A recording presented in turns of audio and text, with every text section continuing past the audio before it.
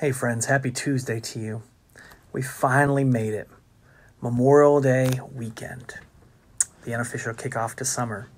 School's out, long awaited vacations are finally happening, and dreams of lazy afternoons at the pool, by the splash pad, or even on the lake are finally coming to fruition.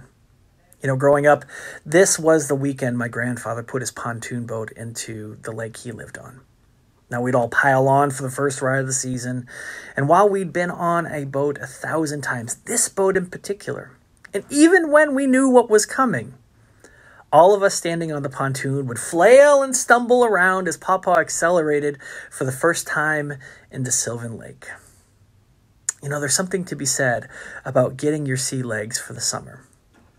And as we continue to get our vaccinations and come out of this season of COVID, I think it's fitting we consider how we get our church legs back under us.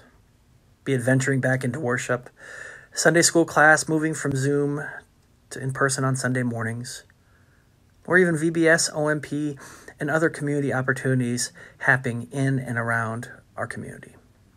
And so I hope you join us this Sunday in one of our three unique worship services, 8:30 and 11 in the sanctuary, and 9 o'clock in the CLC to hear a word of comfort and challenge that the Apostle Paul has for us as we begin to put one foot in front of the other to get our church legs back.